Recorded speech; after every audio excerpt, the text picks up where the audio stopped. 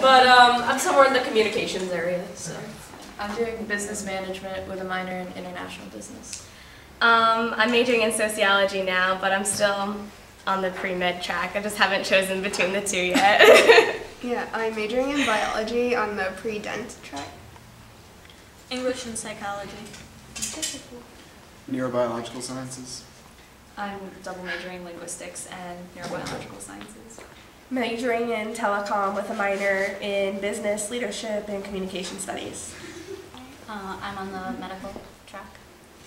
Um, I'm biology pre-med track, um, chemistry minor, psychology minor, and a history minor.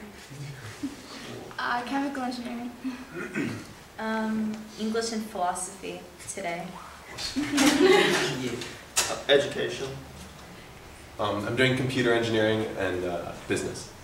And I'm doing health science, and I'm on the pre-med track. I mean, there's, like, the biggest thing to remember is that there's so many students that are at these universities that are competing with you, and they're going to be your competitors throughout life. And they did IB, they did AP, they did honors dual enrollment. So you have to set yourself apart from when you, like that first day in class, the first day of college, set yourself apart, join activities, join different things, and let your professors know who you are. That's definitely so beneficial. It opens up so many doors. Professors know about different opportunities that they recommend you for. They write different recommendation letters, so it's definitely helpful. Yeah, definitely look at the beginning of the next like four years as a clean slate. Like maybe you weren't the most studious person in high school or you sometimes, you know, skip class or whatever.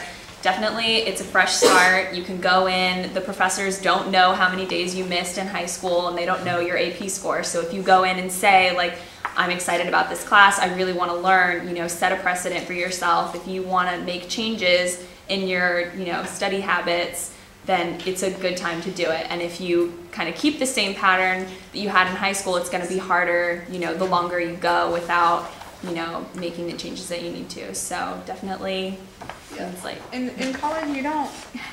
I, I, I'll have to kind of admit, we were kind of spoiled in IB. Um, I, I- I think the teachers definitely kind of rode our butts if we didn't do something. They were on us, like, why didn't you do this? You know, turn it in. And, um, which was, we probably all thought it was kind of annoying sometimes, I don't know. Um, but it's honestly really nice because then you get to college, and for the most part, because your classes tend to be a lot bigger, the professors don't seem to it's not that they don't care as much, but they're not going to ride you to turn in an assignment. They're not going to be like, "Oh, you didn't do it." It's just too bad. You don't you don't get the points. And so it's a lot more like um, uh, what is the word I'm thinking of? Like yeah, like independence. I guess you, you just you have to force yourself. Like there's nobody else to push you. You have to do it. You have to be the one to just study. Like that's the thing is a lot of times you don't have all this busy work, but you just have to study. Um, and even if you don't have an exam for like two weeks, it doesn't matter. Like you have to force yourself to sit down and study, which is I know something I wasn't used to doing.